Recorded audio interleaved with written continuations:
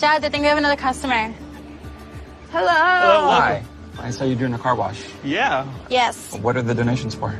Um, it's for my friend Lynn here. She's transgender and we're trying to raise money for her hormones, so it's for a good cause.